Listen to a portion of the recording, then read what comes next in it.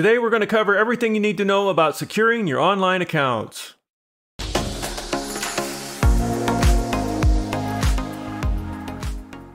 This is a comprehensive video covering second factor authentication. We'll cover password security, generating strong passwords, and how to secure those passwords. We'll break down the good and the bad of second factor authentication, all of the methods, and we'll rank and score each of these methods individually. So let's dive in. Second factor authentication is something you know, like a PIN or a password, plus something that you have, maybe like a security key or an authentication app, or something you are, a retina scan, facial scan, or fingerprint.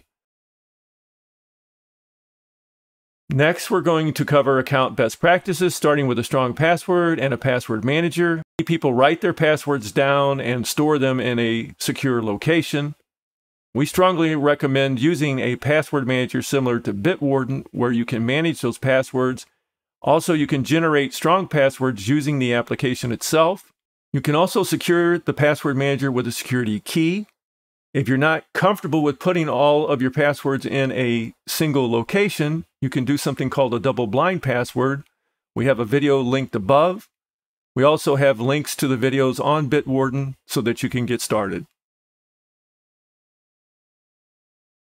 Next, we'll cover the second factor authentication methods, what I consider pure second factor methods. First one is biometrics, which is something you are, a retina scan, facial scan, or fingerprint.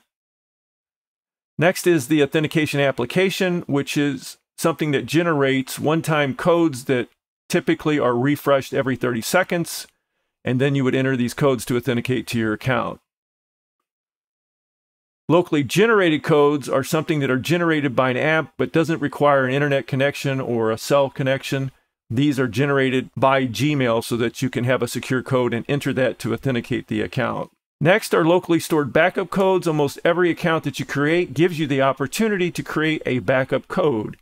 If you print these out or secure these in an encrypted file, you could always have these locally available in case you needed to authenticate with the codes. And finally, the hardware security key, which can be physically plugged in to a device or it can use near field communication to electronically communicate so that it can authenticate with the key. If you're not familiar with hardware security keys, we have a link to the videos that we have done on this topic. Next, we're going to cover what I consider gray second factor authentication, not pure in the sense that it is not something you have, it's something that is sent to you. Now, the problem I have with something sent to you is anything that's sent can be intercepted, manipulated, commandeered. This is one of the least secure methods of second factor authentication. The other problem with this is a lot of people link their cell phones to their one device, they lose the device, and now they can no longer authenticate to their account. A more secure messaging method would be using Google Voice, although it still is requiring it to be transmitted although it's more secure than your cellular text SMS messages. And the last one is push based notifications. This is where you are signed into a device and Google will send a notification to that device and you can confirm that it is you and you can log in. But it does require a network connection in order for it to work properly. Now that we've provided you an overview of all the different types of second factor authentication, we're going to go into a little bit more detail and give each factor an overall grade. We're going to do this in reverse order with what we consider gray second factor authentication methods first. These are not something you have, they're something sent to you as was explained earlier.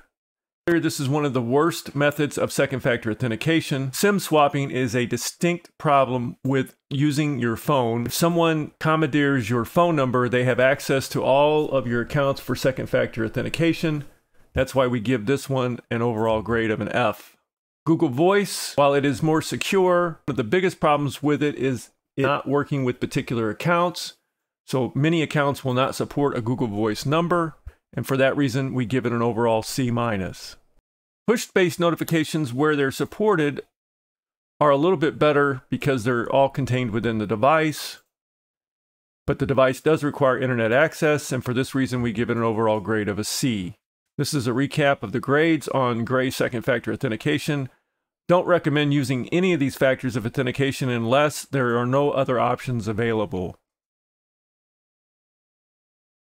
Now we'll move on to pure second factor authentication, starting off with biometrics. This is one of the better methods for second factor authentication. One of the concerns is people don't like having their physical being scanned and stored in a system somewhere. And there is the potential for that being emulated and then using that information to hack accounts. But overall, I give that an A minus, one of the better methods. Next is authentication application. These authentication applications use a secret code given to you at the time of account registration with universal time. Those are hashed together to generate a one-time code that is good for about 30 seconds. One of the problems with authentication applications, besides you could lose the account on the device or lose the device itself, is that a man in the middle attack can happen where a malware link is sent to you and you think it's the right site, but you're actually credentialing your code in on the wrong site and giving the hacker access to your account. So for that reason, we give it a B. Next are locally generated codes where supported. It's one of the more secure methods because these are generated on the device themselves. Basically, you're using the device as a security key. It's also susceptible to the device breaking or being lost. We give this an overall score of a B+. Locally stored backup codes are a great second factor authentication, and they're always offered to you at the time of account creation. And hopefully, these are put into a safe location that is accessible when needed. The problem with these are you going to be able to find them at the time when they're really needed. For that reason, we give it an overall grade of a B minus. And last, we talk about hardware security keys as being one of the most secure methods for second factor authentication. These use a very sophisticated private and public key pair for each service that you're authenticating to. This unique private key stays on the key itself. The public key is shared with the server, and the credentialing is such that if anything interrupts the flow, the key will not authenticate to the service and you cannot be hacked. They are subject to being lost, but one of the overall better methods for authenticating to accounts. We give it an overall A. Recapping the grades. Of course, the hardware security key and the biometrics are the best methods for securing your accounts. Ideally, a hardware security key with a biometric input would be an overall A plus in my book. And bio keys are made by different manufacturers. I have personally used the YubiKey BioKey. Problem with it is it's subject to lockout. If after three failed attempts touching the key, it will not work anymore. And it's an arduous, complicated process to get the key reactivated. So it's subject to failing at the worst opportune time.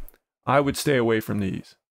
That's a wrap of second factor authentication. If you have any questions or comments, please post them below. Hope you will like the video and subscribe to the channel. This supports our efforts in helping others with technology and have a great and wonderful automation day.